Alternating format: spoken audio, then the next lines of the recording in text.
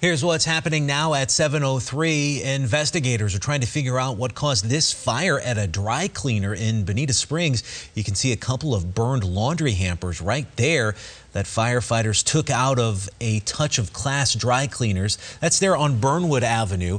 No one was injured here, and this was the only business in the plaza that was affected by the fire.